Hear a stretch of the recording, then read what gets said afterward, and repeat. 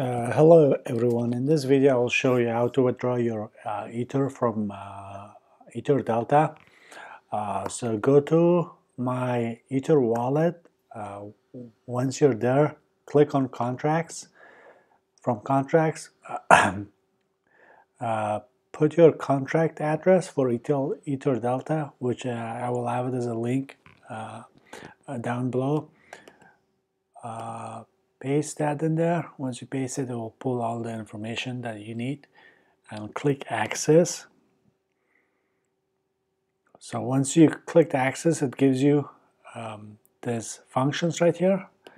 Um, as on my previous videos I showed you how to withdraw your tokens from Ether Delta. On this one I will show you how to withdraw your Ether. So instead of um, instead of doing tokens you just do you click on withdraw and make sure you know how many ethers you have. Go on etherscan and put your public address and it will tell you um, how many ethers you have. You also can go to um, ether delta balance some guy made that website. It's pretty cool actually to show you how many how many ethers you have and how many tokens you have and I will have that that address down below as well. Um, so once you do this you just click um, click your private key or wherever uh, options you want to pick uh, and you you put your ether delta private key.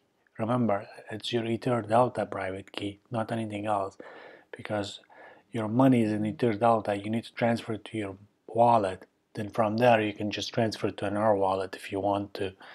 Um, so that's it. Once you do that, you just do right, and it will give you an uh, option again.